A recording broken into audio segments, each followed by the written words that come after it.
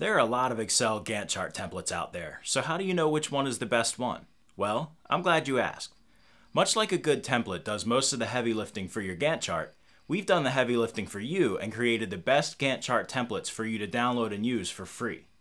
Using a pre-made template can save you lots of time by having all the tedious work already done, so all you have to do is enter your specific project information and you're off and running. We've made these templates as easy to use and as powerful as possible, in this video, I'll show you how to get the most out of these templates and make managing your projects as painless as possible.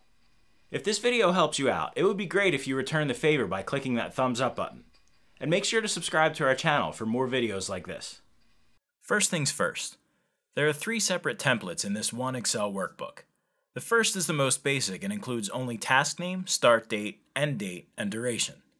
The second is a bit more complex and includes task name, start date, end date, duration, days complete, days remaining, and percent complete. The final template has all the same columns as the second, but differs by which of those cells are manually entered and which are calculated. More on that in a second. Now that you know the difference between the three templates, let's talk about what's the same. Any cells that have a white background and black text require a manual entry of some type.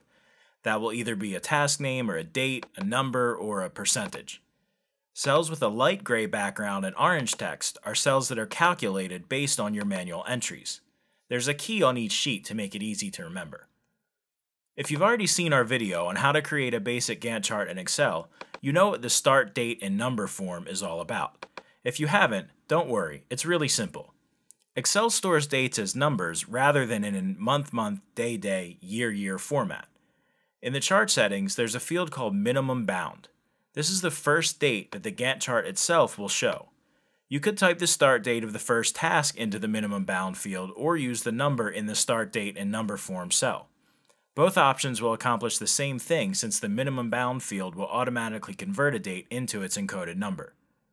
If you're interested in a simpler and more powerful solution to managing and scheduling your projects, click the Start Building for Free button at the top of the template to go right to teamgantt.com where you can create your account for free and start building simple, beautiful, and easy to share web-based Gantt charts.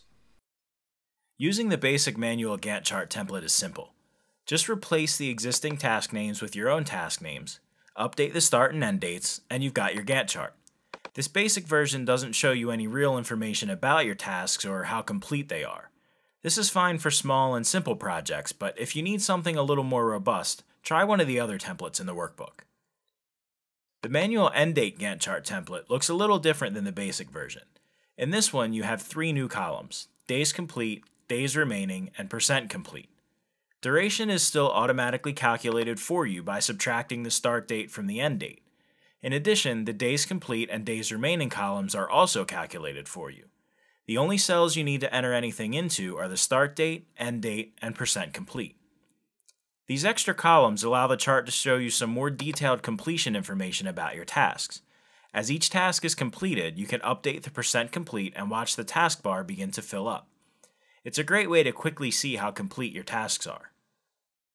The manual duration template is nearly identical to the manual end date template, except that in this case, the end date is automatically calculated and the duration column is manually entered.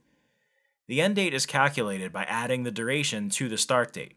Some people prefer to work with task durations, and some projects work better when you can give a task a duration rather than an end date. It can also be a little quicker and easier to update if your timeline changes and your tasks need to be lengthened. Days complete and days remaining are still automatically calculated and percent complete is still manually entered. The Gantt chart will update the exact same way. We just wanted to give you more than one way to work based on your personal or project needs. There's no denying that Excel can work for some very basic project management needs, but it has its limits. Lots of limits. There's no dependencies, milestones, or resource management. It's cumbersome to move tasks around, and if your project gets much larger than a few tasks, it can get pretty unwieldy. Luckily, there's a better way. TeamGantt is a web-based project scheduling tool that makes creating your project plan as simple as drag and drop. Just enter your task names and drag the task bars out for as long as each task should take. You can add dependencies to your task, upload documents and leave comments, assign tasks to coworkers and teammates, even see how busy your whole team is so you know if you can assign more work to them. And sharing your project plans is simple and flexible too. You can embed a read-only version of your plan into a web page, export your plan as a PDF, or even print your whole plan. We've worked hard to make TeamGantt as simple as possible. We love it, and we think you will too.